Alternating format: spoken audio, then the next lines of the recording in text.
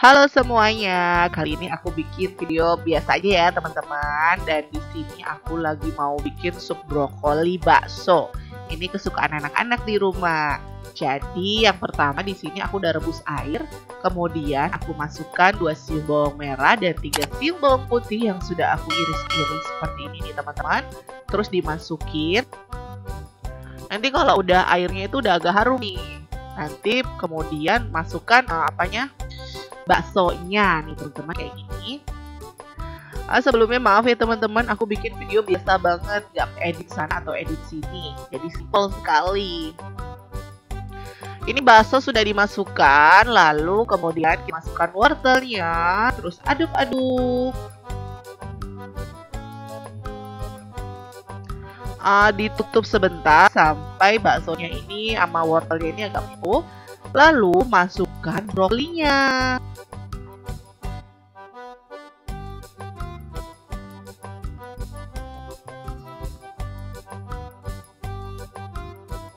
Tambahkan sebuah tomat yang sudah diiris. Uh, kemudian masukkan satu sendok teh kaldu bubuk rasa sapi ya teman. Lalu ditambahkan juga sesuai selera aja yaitu kita masukkan garam. Terus kasih lada bubuk secukupnya saja.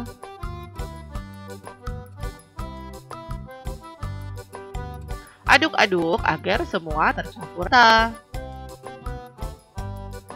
Terus diicipin kurang apa, kalau kurang garam tambahin aja garam.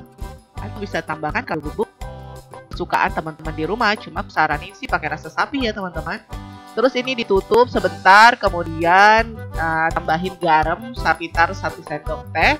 Lalu masukkan juga daun bawang satu batang yang sudah diiris seperti ini, lalu aduk-aduk. Kemudian ditutup sebentar saja. Ah, nah ini dia teman-teman. Ini udah jadi nih ya teman-teman. Sekarang siap disajikan. Dan ini dia sop brokolinya udah jadi nih teman-teman. Mudah banget kan? Sampai jumpa di resep berikutnya.